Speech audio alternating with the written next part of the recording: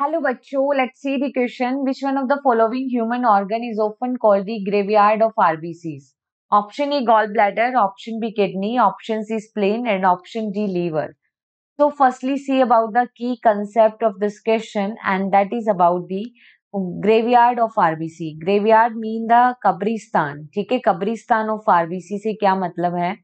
तो देखो dead RBC जो होती है, या आरबीसी का जो डिस्ट्रॉय होता है that is occur in the spleen तो spleen is known as the graveyard of RBC ठीक है?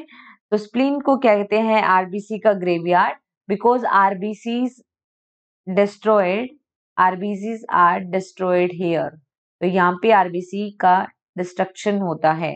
एक सेकंड के अंदर अराउंड 2.5 मिलियन आरबीसी डिस्ट्रॉय हो जाती है। In one second around 2.5 million RBCs are destroyed.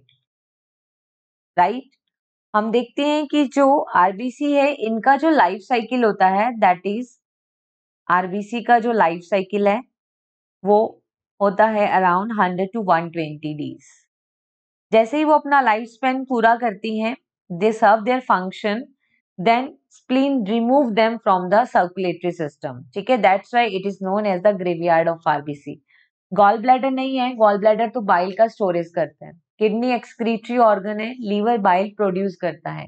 तो आरबीसी का जो रहती है, जो डेड आरबीसी है, वो स्प्लिन में होती है. So here the finally correct answer is only option C hope you understood it well best of luck